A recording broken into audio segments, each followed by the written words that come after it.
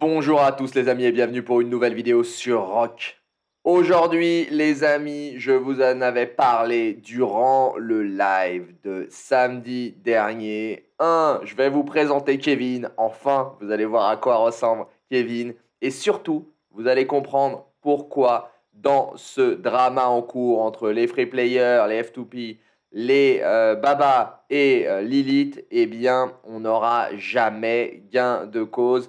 Vous allez le voir que le marché européen comme le marché américain ne sont pas forcément les enjeux stratégiques actuellement de Lilith et je vous en avais déjà parlé surtout au niveau de leurs bénéfices, de leur chiffre d'affaires et de leur croissance actuelle. Ce ne sont pas du tout sur ces zones-là qu'ils investissent. Mais avant cela, les amis, Rejoignez-nous sur le nouveau Discord de la chaîne que j'ai créé. Vous avez, on est déjà en force, hein, vous avez le lien en description de cette vidéo. N'hésitez pas à venir sur ce Discord. Hein. il y a plusieurs sections. Vous retrouverez tous les jeux auxquels je joue et que je teste actuellement. Et puis vous pourrez poser évidemment toutes vos questions. Donc le lien est en description. N'hésitez pas à nous rejoindre.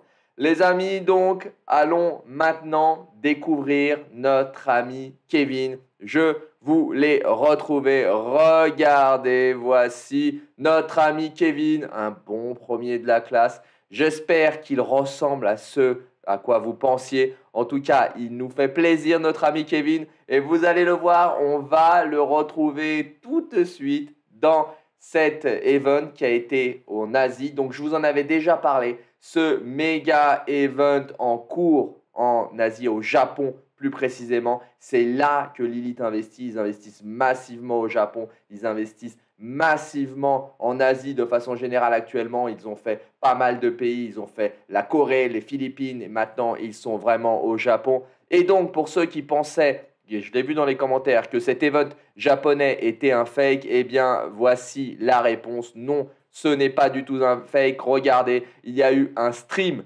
sur cet event. Cet event qui était réservé sur un nouveau serveur. Ils en ont fait, ils ont fait vraiment une émission avec les six streamers japonaises, plus précisément, et pas japonais, créé. Il y a apparemment des stars de l'e-gaming qui, qui euh, présentaient aussi. Alors je ne sais pas qui est qui. Mon niveau japonais est très limité puisqu'il se réduit à quasiment rien. Heureusement, l'un d'entre vous m'a tout traduit. Merci énormément à lui de m'avoir rapporté toutes ces informations là. Je ne les ai vues strictement nulle part. Je me trompe peut-être, mais je les ai vus nulle part. Et vous allez le voir quand même, c'est un event qui est encore en cours et c'est un event de ouf. Et en fait, à la base, on pensait, et moi-même le premier, je vous avais dit que c'était sur un serveur privé dédié pour l'événement.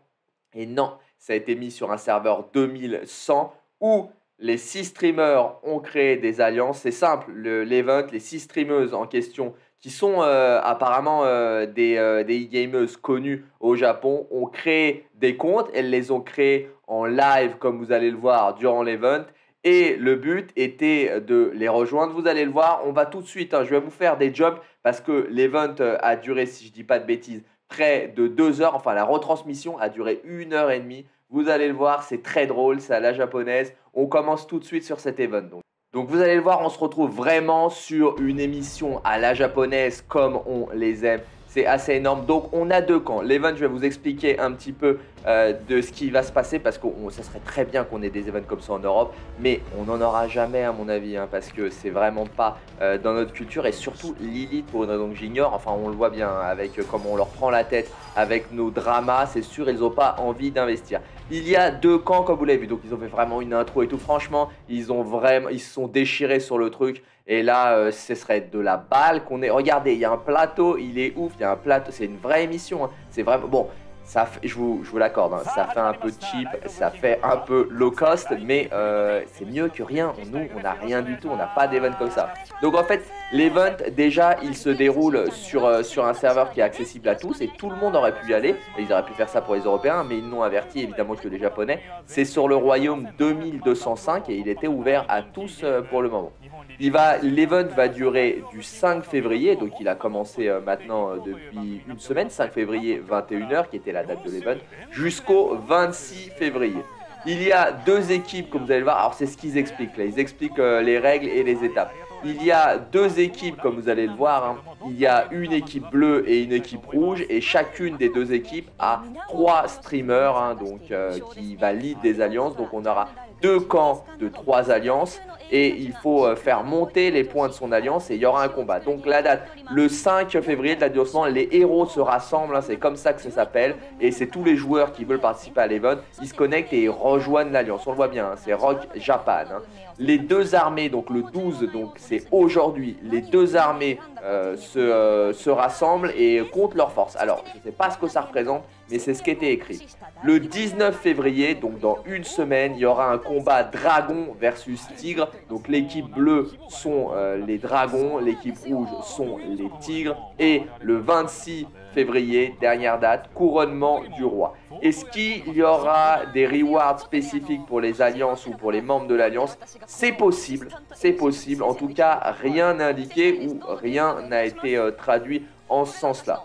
Donc il faut rentrer euh, dans l'événement bien évidemment et rejoindre l'une des deux alliances selon l'invité euh, qu'on veut, euh, qu'on veut défendre, dans lequel streamer, pardon, selon le streamer qu'on veut, qu'on veut défendre. On le voit, il y a déjà des camps. C'est les deux personnes qui commentent là l'une des deux est, de rock, si ce n'est les deux sont de rock ou l'un est commentateur. C'est un peu flou encore pour moi. En tout cas, cet event, vous allez le voir, il est vraiment très bien mené. Il y a une présentation des commandants, on le voit, hein, ils ont pris un compte. Les mecs, ils prennent pas n'importe quel compte pour présenter. Regardez, on a des comptes avec tous les commandants 60, tous les commandants expertisés. En revanche, le stuff, euh, ils se sont pas foulés, mais ils ont peut-être pas mis euh, le mieux euh, de, de, ce qu'ils avaient en stock. En tout cas, vous allez le voir, c'est très japonisant. Pour vous donner un ordre d'idée, pourquoi Lilith s'en tape de ouf de notre drama et du fait qu'on ne paye plus. Regardez, il y a une petite carte, ils expliquent quel camp est où à gauche. C'est vraiment très bien fait. Il y avait sur ce live-là, en simultané, c'est assez ouf, 79 hein, 239 personnes très précisément en pointe sur ce stream. 80 000 personnes sur ce stream qui est juste sur Rock Japan. 80 000 personnes, je suis même pas sûr qu'en France on ait 80 000 joueurs. C'est vraiment assez énorme. Là, euh, c'est dingue. Je vous disais, un des deux présentateurs est un champion de sport. Non, c'est un champion de circuit automobile de M1 euh, au Japon. Donc voilà, il donne encore les dates et il redonne les étapes clés et le but final. L'objectif est assez simple hein, pour les joueurs qui rejoignent l'Alliance. Il est vraiment modeste. L'objectif, il est vraiment assez simple. C'est atteindre l'HDV 12, 100 000 de puissance. C'est que dalle. 20 000 T2 et euh, c'est vraiment rien en deux semaines. Donc en plus, l'objectif est vraiment faible. Pour vous donner un ordre d'idée, quand vous êtes connecté là sur le soir, sur euh, l'arrivée, donc vous voyez les streamers arrivées se présentent, quand elles vont créer un ça va se connecter. Il va avoir dans chacune des alliances plus de 100 coffres, plus de 10 coffres en or, ça va bombarder, ça va acheter à mort et ça continue d'acheter à mort durant l'event. Il y a des très grosses baleines japonaises qui sont sur ces, euh, ces serveurs. Donc vous le voyez, ça rend ouf, hein, ça me fait trop rigoler. C'est vraiment un event à la japonaise, elle arrive déguisée. C'est euh, franchement, euh, c'est dingue. Donc c'est le serveur 2205, c'est assez énorme. Vous allez le voir, je vais vous accélérer un petit peu cette vidéo parce que j'ai pas envie de trop vous la couper parce qu'elle est vraiment énormissime. Enfin, moi, elle m'a beaucoup fait rigoler. Donc, on va un petit peu l'accélérer en cette phase et comme ça, vous allez pouvoir la découvrir au maximum. Donc, je vous ai mis une vitesse 250 pour que ça soit assez rapide, mais pas trop, ce qui va nous permettre d'avoir quasi l'intégralité de euh, l'event sur cette vidéo. Vous le voyez, en plus, elles arrivent présentées en cosplay. Euh, elles sont toutes euh, en cosplay différent. Alors, j'ai pas compris tous les. Enfin, je sais pas si ça c'est un cosplay. Euh, peut-être. J'ai pas compris tous les délires. Vous voyez, elles choisissent leur carte bleu ou rouge. Hein. Comme je l'ai dit, il y, a deux teams. Donc, c'est vraiment exactement comme on peut l'imaginer. C'est pour nous, Européens, c'est la caricature parfaite de, du plateau japonais typique. Alors, si certains d'entre vous ont plus l'habitude, n'hésitez pas à mettre votre avis en commentaire. Vous voyez, là, on est très traditionnel hein, sur, euh, sur cet event. Moi, en tout cas, je l'ai suivi et j'ai été surpris vraiment. je ne pensais pas, quand je vous en ai parlé il y a de ça deux semaines, je dix jours, je ne pensais pas que cet event aurait un tel succès. 80 000 vraiment viewers en simultané, c'est tout simplement énormissime. 80 hein. 000. Pour vous donner un idée, les streams de la Ligue Osiris qu'on a, les lives, je ne parle pas des lives que je fais, je parle des lives officiels de Lilith sur YouTube non pas. Et voilà, Kevin est arrivé. Kevin et Brian, son collègue stagiaire d'Infinity Kingdom, euh, et ici aussi, vous voyez, sont tous les deux ensemble. Kevin, enfin, il nous explique là, il est en train de vous détailler comment il fait les traductions et ce qu'il fait pour les events. Vous voyez, il fait comme ça, là, il provoque un petit peu. Il recherche sur Google, il nous dit, et il utilise la translation française de Google. Alors, c'est pas très efficace. Vous le voyez quand même, ils sont euh, Covid-friendly. Hein. Ils ont les petites, euh, les petites vitres en verre pour se séparer puisqu'ils n'ont pas les masques. Hein. C'est d'ailleurs étonnant hein, qu'ils n'aient pas du tout les masques ils sont quand même très proches, ils, sont, euh, ils, se, ils passent les uns à côté des autres. Là, j'ai été surpris en revanche parce qu'on est en plein Covid. Donc voilà, ils le lancent, il y a une présentation, ils ont fait des... C'est marrant hein, parce que regardez, euh, moi je l'ai jamais vu ces cinématiques-là, je les ai vraiment jamais vus. Donc à mon avis, dites-moi si vous avez déjà vu ou ailleurs, à mon avis ces cinématiques-là, ils les ont fait exprès, cette scène-là, ils l'ont fait volontairement pour... volontairement oui, mais ils l'ont fait que pour cet event et que pour ce plateau. Donc voilà, là on est sur la présentation. Euh, chaque euh, streamer se présente. Je vous avais donné leur fiche descriptive, c'est assez intéressant. Hein. Certains, il y a leur taille, certains, il y a leur âge ou leur année de naissance. C'est vraiment euh, des descriptions assez étranges. ils vous montrent leur camp. Vous voyez, il y a la mini-map quand elles se présentent, dans quelle zone elles vont être. Donc les rouges vont être en haut à droite. Et ah, est-ce que c'est ça? Ouais, ils vont être tous. ils disent dans, dans, quelle zone ils sont. Je pense que c'est ça, puisqu'ils mettent le camp en haut à droite. Est-ce qu'il y en a plusieurs ou est-ce qu'il y en a qu'un? C'est peut-être euh, une erreur de ma part. Bref, en tout cas, les règles sont fixées, les streamers se sont présentés, ils vont se connecter sur le serveur. Alors, moi, je pensais qu'ils allaient leur donner des comptes spécifiques déjà préparés avec du stuff, etc.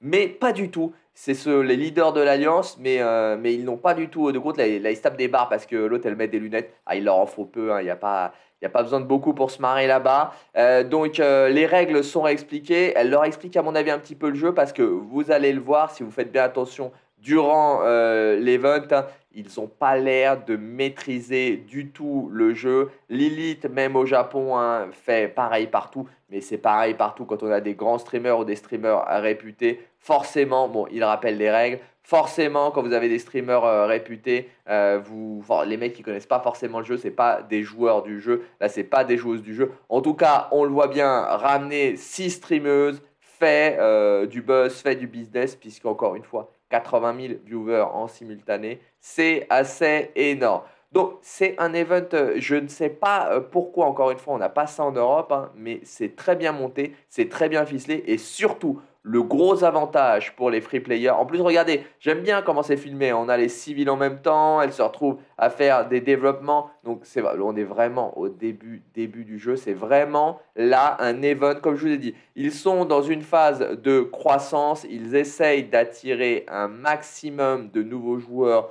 en Asie. Et donc là, ce genre d'event, si vous commencez le jeu avec ce, genre d'event, vous allez avoir un avantage énormissime. Donc même nous les Européens, si vous pouvez aller sur le serveur 2205, euh, allez-y, car c'est un gros avantage de commencer avec euh, cet event-là, puisque vous allez avoir masse coffre en or, et, vous avez, quand, vous êtes, euh, quand vous avez un petit compte, on ne vous accepte pas normalement dans les grosses alliances, et là, c'est des alliances qui sont énormissimes, puisque tous les joueurs qui veulent faire l'event vont dessus. Alors le problème, c'est que ça va être écrit qu'en japonais, il va falloir utiliser que la traduction pour comprendre ce que disent vos guildmates, mais si vous arrivez à vous faire accepter, vous allez ramasser un max et vous allez avoir un compte qui va très très vite augmenter. Euh, les prétentions pour les votes sont ultra faibles. 100 hein. 000, je pense que vous pouvez facilement, vu tout ce que ça paye, vu toutes les baleines, les coffres qu'ils achètent, vous pouvez facilement être à 2, 3, 4 millions, voire plus, sans acheter un seul pack grâce à cet event. Vous le voyez, hein, euh, elles, elles, vont arroser très probablement, à mon avis, Lilith va leur donner euh, ce qu'on appelle des, des coupons euh, en traduction française, des coupons pour acheter des, des coffres. Alors, ils ne l'ont pas fait durant le live. Hein. Durant le live, c'était vraiment dans les conditions réelles. Elles jouaient sans acheter de pack. Hein. Elles avaient un compte traditionnel. Vous voyez, leur niveau de gem, il est très faible. Leur niveau de clé aussi, il n'y a pas de problème. De puissance, c'est pareil. Mais ça n'empêche que, à mon avis, ça va rincer de ouf. C'est déjà le cas, encore une fois. Celui d'entre vous qui m'a pas apporté toute cette traduction. Merci encore à lui et euh, qui est dans une des alliances là, me le dit et me la garantit. Ça arrose un max, donc le gros avantage, c'est d'être dans des alliances qui vont être portées et qui vont être suivies par l'élite. Et surtout, comme il y a 80 000 streamers, comme il y a 80 000 personnes, il y a du monde sur ce serveur, le 2205. Je ne serais pas étonné que le 2205 soit un futur très gros serveur, sachant que évidemment ces six streameuses là, après la fin de l'event, euh, ils vont plus jouer. On aura certainement un nouvel, euh, un nouveau plateau télé comme ça pour euh, la, finale le 25 hein, pour le combat, le dernier jour, le 25 février ou le 19 février également. Je ne manquerai pas de vous faire suivre ça et de vous tenir informé. Mais vous le voyez, hein, l'investissement massif de Lilith n'est plus du tout en Europe ni aux États-Unis. Est-ce qu'il l'a vraiment été? Je ne sais pas. C'est bien pour ça. Euh, y a une présentation euh, des différents commandants. Vous voyez la petite photo, c'est la même euh, nana. Hein, c'est Lola en bas à droite avec ses lunettes. C'est elle sur le plateau aussi. elle ne se ressemble pas. Elle ne ressemble pas. Lola, tu ne ressembles pas à ta photo. donc là, franchement, Lilith, c'est pour ça que les free players et dans le, le combat, la pression entre Baba et la communauté versus Lilith et versus les certains pay to win hein, comme Bunny euh, qui, euh, qui lui euh, critique aussi pas mal l'action de Baba. C'est bien pour ça que Lilith en a strictement rien à faire. Je vais vous faire un jump pour arriver vers la fin de cette, cette diffusion. Vous allez le voir de, de cet event. Hein. Ça a été ponctué comme ça pendant tout le live. Ça a été vraiment très bien animé. On fait un petit, une petite ellipse. Alors on se retrouve vers la fin de la retransmission. Ne me demandez pas ce qu'ils leur ont demandé de dessiner. Je pense, au départ je me suis dit, ils leur ont demandé de dessiner un commandant, euh, leur commandant dans le jeu. Euh, en fait j'ai l'impression qu'ils leur ont demandé de se dessiner eux-mêmes, de se caricaturer. Pourquoi ils ont demandé ça, je ne sais pas. Regardez, Kevin avait quand même l'air bien, bien défoncé. Donc, euh, je ne sais pas pourquoi ils leur ont demandé de faire ça. En tout cas, ce qu'on constate, c'est qu'elles savent toutes dessiner, hein, à défaut euh, d'être euh, au niveau dans Rock ou de jouer à Rock. elles dessinent pas mal, quand même. Et, vous voyez, elle, a dessiné Cléopâtre, mais est-ce que c'est elle? J'ai l'impression, je ne sais pas qui. Est-ce qu'elles ont toutes dessiné Cléopâtre je ne sais pas. Ouais, ça a l'air d'être ça. Ça a l'air d'être un dessin. Alors, je sais pas pourquoi elle cache. Ça a l'air d'être Cléopâtre. On leur a demandé de dessiner le héros Cléopâtre. Alors, j'ai pas bien compris. Hein, je, cache pas. Bref, ouais, ça a l'air d'être ça. Euh, en tout cas. Voilà pour cette émission très très japonaise, mais même, même Kevin, sa tenue, elle est magnifique. J'adore la tenue de Kevin. Je vais mettre la même le jour où je vous ferai un facecam. Je serai avec cette tenue-là, tellement elle est énorme. Voilà, on jump là complètement sur la fin de l'émission. Encore une fois, comme vous le voyez sur cette fin, le Covid, ils s'en tapent. Hein. Euh, ils ont mis des vitres pour faire semblant. Lilith euh, et les Japonais, euh, ils n'ont pas de soucis avec les distanciations physiques. Hein. Ils sont détentes. Hein. Ils mettent vraiment des vitres pour faire genre, pour choquer personne. Mais ils tapent de la pause là. Là, c'est là. Je sais, me demandez pas ce qu'ils font. Je ne sais pas pourquoi ces gens font ça. Et regardez, Kevin, même Kevin est consterné. Même lui, il ne comprend pas ce que euh, ces, euh, ces nanas font. Il ne sait pas, il ne comprend pas. Donc euh, là, c'est la fin. Elles présentaient leur team. elles, elles, disaient au revoir. Et vous allez le voir, les deux camps comme ça font leur petit show. Kevin est content. Kevin est très très content de, cette émission. on, a, on est presque, presque sur Malaise TV. Là, ils s'en vont. Voilà, ils nous disent au revoir. Et puis, ce qui est drôle, c'est qu'ils vont, ils, voyez, ils se lèvent, passe derrière à côté. Hein. encore une fois, le Covid, il n'y a pas de détente. En revanche, ils rangent leurs chaises. Hein. Les stagiaires sont bien élevés. Là, euh, c'est l'heure d'aller se coucher pour Kevin. Il est déjà 21h. Euh, en revanche, les gens en bas à droite, regardez, on voit quelqu'un en bas à droite, il a son masque. Hein. Alors, tous ceux sur le plateau, ils en ont plus. Ils ont des vitres et ils se mettent côte à côte. En revanche, et ils reprennent les places des autres. Encore une fois, euh, ça m'a fait assez halluciner tout ça. Mais c'est comme ça. Donc vous le voyez, l'émission se finit et on a un petit flottement à la fin euh, qui est magnifique.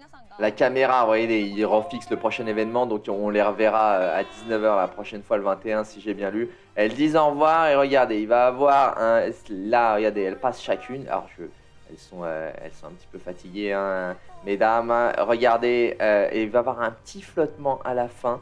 ça me fait toujours rire, là, ils savent pas bien quand ça coupe. On a de la musique et à un moment, bah, la musique s'arrête et puis il se passe plus rien. Elles attendent juste que ça se finisse et voilà, ça se termine. Ça m'a fait assez euh, sourire, rigoler, cette petite euh, fin un petit peu à l'arrache, mais en tout cas un event comme on aimerait en avoir en Europe et qu'on n'aura malheureusement jamais. C'est pour ça, pour moi, que Lilith, on le voit bien, même si au niveau du VIP 18, le screen que je vous ai montré apparemment serait un fake, hein, il y a certains indices par rapport à ça, mais en tout cas, les, euh, ce qui est apporté comme bonus est tout à fait crédible. Hein. Euh, évidemment, euh, c'est des bonus qu'on peut avoir sur le VIP 18 et le VIP 18 a été confirmé par Baba qui plus est pour le mois de mars, donc ça, on l'aura vraiment. Mais au-delà de ça, on le voit bien encore avec la file payante à 11 euros, comme certains dans les events actuels, comme certains d'entre vous l'ont dit, cette file donne, contrairement à ce que j'ai dit, 2200 gemmes.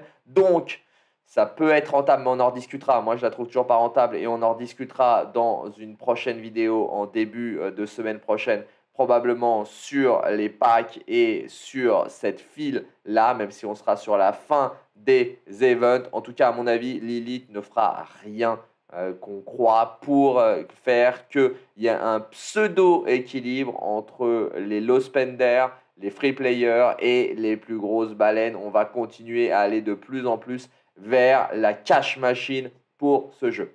Voilà, écoutez les amis, c'est tout pour cette vidéo. Encore une fois, je vous invite à nous rejoindre sur le Discord de la chaîne. Vous avez le lien en description de cette vidéo. C'est le premier lien, c'est tout simple. Vous cliquez dessus, vous venez nous rejoindre sur le Discord et ça fera plaisir d'échanger avec vous. Si cette vidéo vous a plu, les amis, comme d'habitude, les amis, comme d'habitude, lâchez, n'hésitez pas, un colossal pouce bleu. Vous le savez, les amis, ça aide énormément le développement de la chaîne. Et surtout, surtout, les amis, ça me fait vraiment très, très plaisir.